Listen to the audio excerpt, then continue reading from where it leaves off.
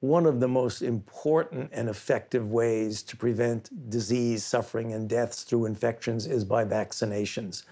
Clearly, the track record of vaccinations is that they are safe.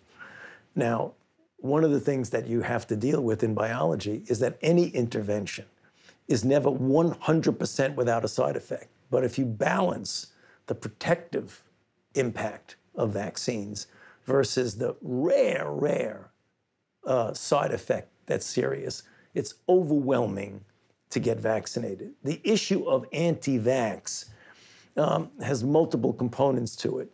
Uh, there are people uh, who are driven in the anti vax philosophy by lack of information or by absolutely false information. The most egregious of the false information is the issue of the association of the measles, particularly measles, mumps, rubella, and autism, mm-hmm.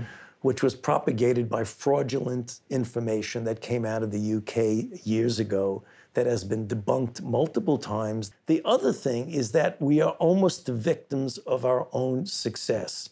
Now, particularly in a country like the United States, a developed country, in which there is very little, if any, of these childhood diseases, at least in an outbreak mm-hmm. fashion, there's this complacency feeling. Well, yeah. it's, it, it's complacency, but it also is what I refer to as libertarianism taken to the extreme. Mm-hmm where they feel they don't want any authority, civil or medical, to tell them what they are going to do with their children or with their family.